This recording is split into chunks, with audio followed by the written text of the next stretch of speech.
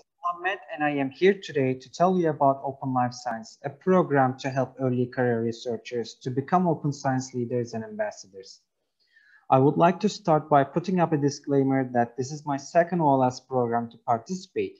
I was a student of second round of OLS and what you see in here is the last slide from my first participation in the program.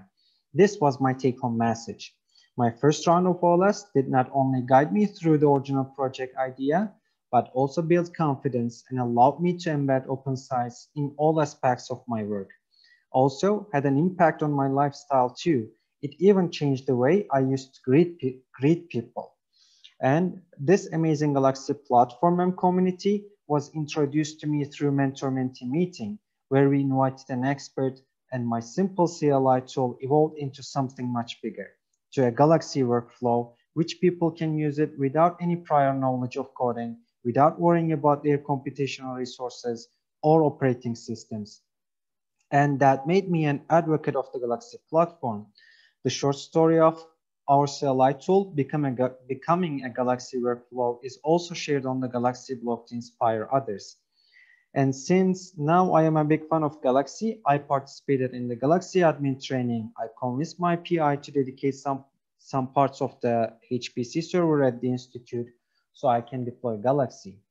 So you must be asking why I am, I am back to OLS. Well, OLS inspired me and made me realize that there is so much goodness in the program, but I think that is not reaching out to as many, as many people as I wish. Many more, many more could benefit from this. I felt there were many valuable things in here that is worthy of being shared to the community at, at large. So I ended up proposing a project where we come together with the help of our beloved OLS experts and mentors to pen something towards this. And here I am going to present about what I have achieved so far. So I joined my second OLS on a different mission, write an article which could be a great stepping stone for future OLS and to the broader life science community. Well, I failed at this. I am a newbie I have never published a paper, so imagine the work needed on my drafts. Maybe it was not a realistic goal to publish a paper in 16 weeks program, but the mentors always meant, made sure that we get out of the program with something. They were always kind and supportive, which is really invaluable for people who are based in a low resource environment. Even only this kindness and support uh, means a lot to us, to people who are located in a low resource country, as it is really hard to find somebody who has the skills and expertise to support, support us in these regions. Because sharing information and transparency is not applied in here, especially in academia. While in OLS, they shared every single information they have. Literally, I got more support than I could get, get in my own country I have learned and achieved things that nobody in here will teach me or guide me through. One of the other biggest challenges in here is affordability of traditional methods of the data collection, which makes open research really valuable for us. However, many of us do not even know about open research, yet alone applying it or making use of it. This was the another reason for me to put an effort to make OLS to reach out as many people as possible. Although I could not achieve what I proposed at the beginning, we still got some achievements. Through OLS, now I implement open science in my work and my workflow we created on the Galaxy. It is constantly being used by the researcher, researchers at my institute. In fact, one of the team got a poster presentation on this at this conference. I received Galaxy admin training to set up our own server at the institute.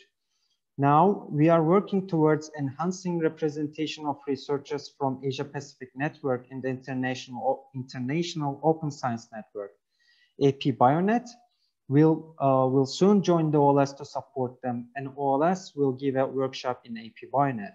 And also AP Bionet is, is going to take an action to collaborate with OBF. We promoted OLS to expand the reach of open science training in my institute and by sharing personal impact story at GCC and ISMB. Now I have an opportunity shut, shut out in the biggest players of the field to talk to people and attract people. OLS did not only impact uh, on my research skills and my life, but also my environment, people around me.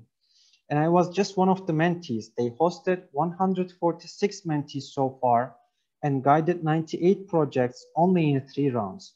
At the moment, they are receiving applications and recruiting mentors and experts. So I would like to encourage people in here to participate in this program, either as a mentee, mentor, or expert, or cohort co-wranglers for people who are interested in gaining experience or, or organizations and teams who would like to collaborate with OLS. Last but not least, I would like to ex express my grateful appreciation to OLS organizers, my mentor from my first uh, OLS, uh, Mallory Freeberg, my professor at the Institute, Hilya, Dr. Gitanjali, and Har uh, Harpreet from uh, AP Bionet. Thank you. Thanks, everyone.